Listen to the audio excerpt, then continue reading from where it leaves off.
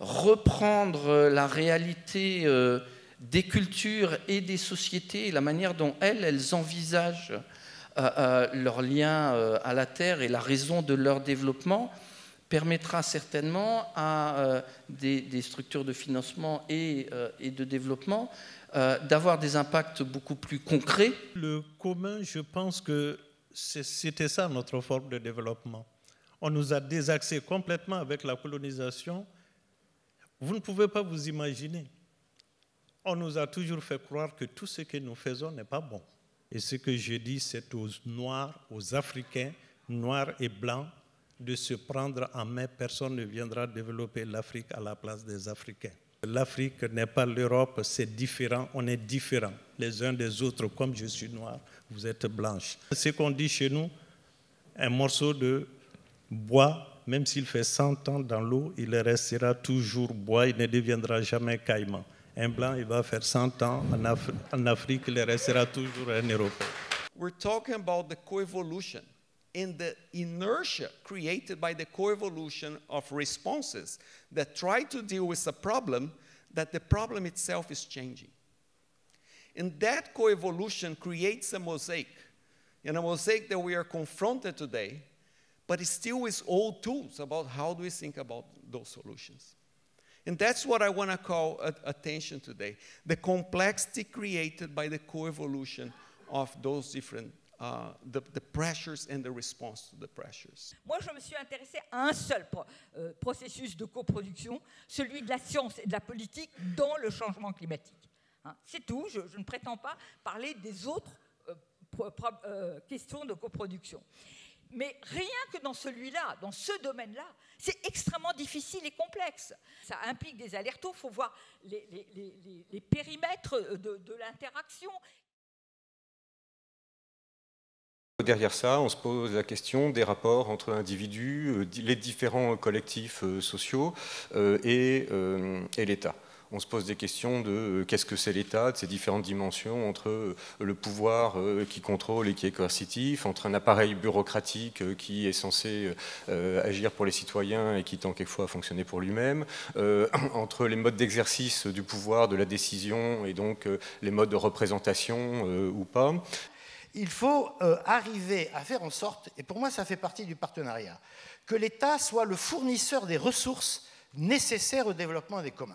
Et quand je dis l'État euh, doit, fournir les ressources, ce n'est pas seulement les ressources financières. J'ai presque envie de dire que ce n'est pas l'aspect principal. Bon. C'est des ressources euh, juridiques, c'est des, des, ressources réglementaires, etc. Ce qui est demandé, c'est un État qui reconnaisse différentes formes d'appartenance, un État qui reconnaisse des logiques d'organisation du foncier des terres euh, et qui ne soit pas sur un monopole de la propriété privée, c'est un État qui reconnaisse la société. Évidemment, c'est ça l'enjeu. Et un des enjeux de, toutes ces expériences que, l'on voit, c'est euh, des tentatives, finalement, pour co-construire euh, l'État et euh, les modes de gestion en commun, associatifs, communautaires. et toutes ces initiatives s'institutionnaliseront si elles arrivent effectivement à se faire reconnaître par l'État et à contribuer à co-construire un État qui soit un autre État, un État qui reconnaisse les dynamiques locales et soit plus proche de, ses populations. Les communs, c'est réellement une notion de la culture, d'une culture qui nous permet de euh, avoir les pieds sur les, territoires, on peut dire ça, et, des racines, et de faire croître les racines. Donc ce n'est pas une surprise que la géométrie des communs, c'est plutôt un cercle, un cercle, beaucoup de cercles en réseau. We learned a lot how to deal with the management of local commons. What conditions allow populations to devise, to think about collective actions that can be successful at that local level? The challenge now is to think, how do we scale that up? It's sort of the last part. How do we connect the different systems that have evolved in a separate way to deal with the problem of fit between, fit as a, as a, as a technical term, between the institution and the ecological system, and a problem of interplay between governance systems and between institutions. quand cette institution ou ces institutions euh, met l'accent sur la, montée en, qualité collective des économies plutôt que sur la quantité.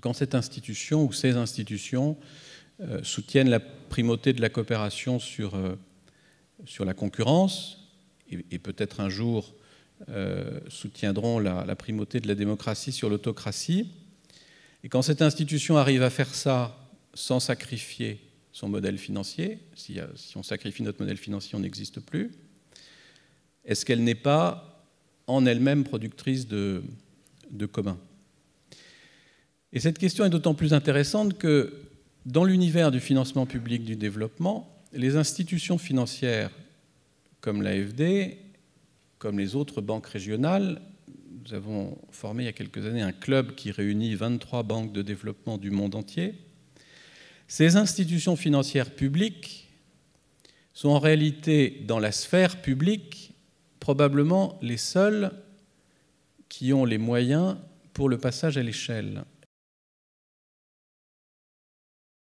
On m'apprenait à l'époque que l'acte fondateur du capitalisme et du mode de production capitaliste, c'est le mouvement des enclosures au XVIe siècle sous les Tudors en Angleterre, euh, où on commence à euh, entourer et à s'approprier de façon privée les pâturages collectifs, avec toutes les conséquences en chaîne, exode rural, etc. etc.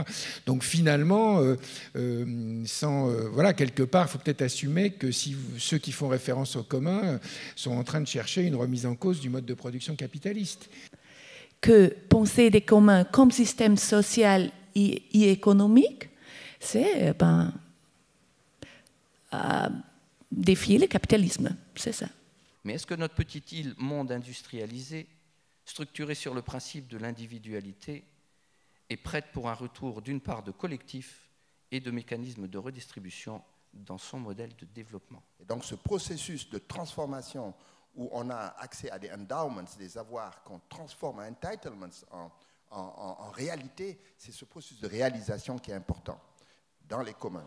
Et les, règles des, communaux, des commons, des communs, c'est de permettre justement et d'inciter à cette transformation.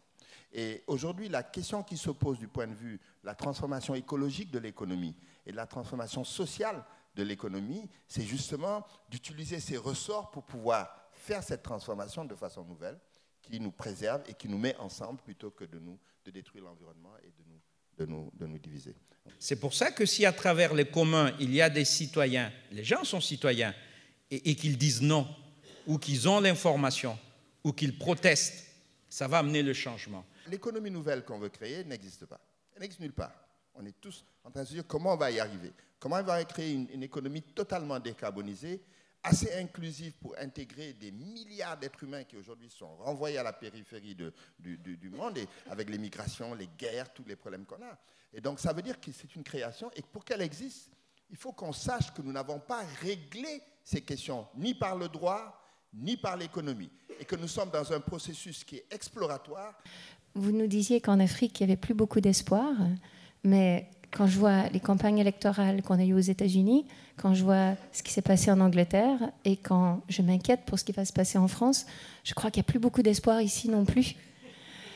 Donc peut-être qu'on peut justement regarder la polysémie à laquelle on a été confronté au cours des deux derniers jours et utiliser cette confrontation comme source d'espoir.